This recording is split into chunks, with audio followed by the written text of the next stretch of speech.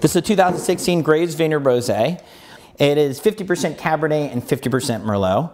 Um, we chose those varieties mainly because from this vineyard we found a very huge potential in aromatics for the rosé. So in this case as well, we did not sit with the skins very long um, and we got as much color and as much aroma as we liked out of it just right away. Again, fermented in stainless.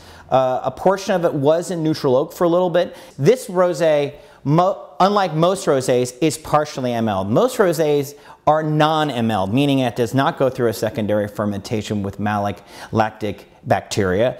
Uh, typically, most rosés don't go through any secondary fermentation, and all the malic acid that came with the fruit is, is, is in the final product.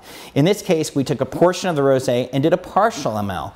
Some of the malic acid was consumed, the vast majority was not. We still get a lot of the aromatics to pop like you'd expect in a non-ML'd wine, but with that partial ML, allowed us to subdue some of the mouthfeel, so we're ending up with a nice mid palate, but not so much an acid structure. And again, a lot of lees contact, so we get a little mid palate, but bone dry and lightly filtered, not fully sterile filtered, as most of our wines are not. Wow.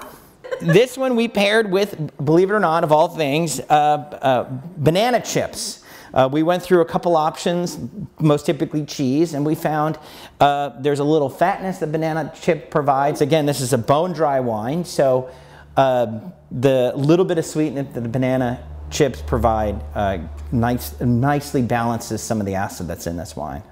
And what we found with the banana is that the little isoamyl acetate that is left over in the wine really starts to get enhanced and matches well with the other tropical components. We decided to make a rosé out of these particular grapes because they were pretty good sized and so they they lent themselves naturally to like a lighter, fruitier wine. They didn't really want to be a red wine, I didn't think. They were better as a rosé, I thought.